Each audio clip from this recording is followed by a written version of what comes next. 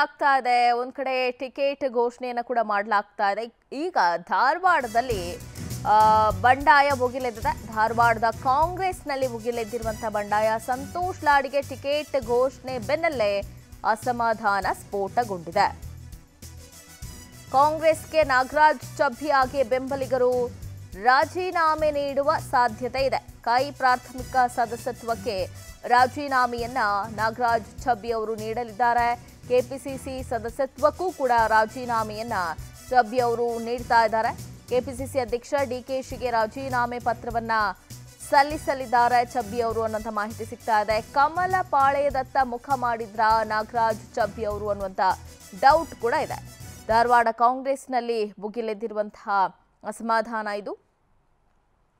ಸಂತೋಷ್ ಲಾಡ್ಗೆ ಟಿಕೆಟ್ ಘೋಷಣೆ ಬೆನ್ನಲ್ಲೇ ಬಂಡಾಯ ಕೂಡ ಮುಗಿಲಿದೆ.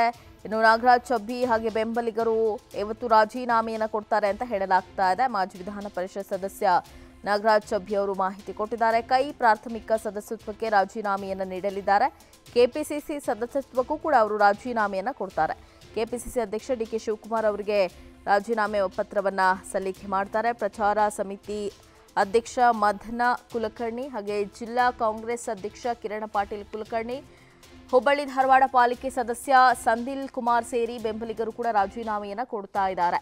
ಎರಡು ಸಾವಿರದ ಎಂಟರಲ್ಲಿ ಕಲಘಟಗಿಯಿಂದಲೂ ಕಾಂಗ್ರೆಸ್ ಟಿಕೆಟ್ ವಂಚಿತರಾಗಿದ್ದು, ಕೆಪಿಸಿಸಿ ಅಧ್ಯಕ್ಷ ಡಿಕೆ ಶಿವಕುಮಾರ್ ಅತ್ಯಾಪ್ತರಾಗಿದ್ದರು ನಾಗರಾಜ್ ಚಬ್ಬಿ ಅವರು ಸಿದ್ದರಾಮಯ್ಯ ಆಪ್ತರಾಗಿದ್ದರು ಸಂತೋಷ್ ಲಾಡ್, ಇಲ್ಲಿ ಸಂತೋಷ್ ಲಾಡ್ ಅವರಿಗೆ ಟಿಕೆಟ್ ಸಿಕ್ಕಿದೆ.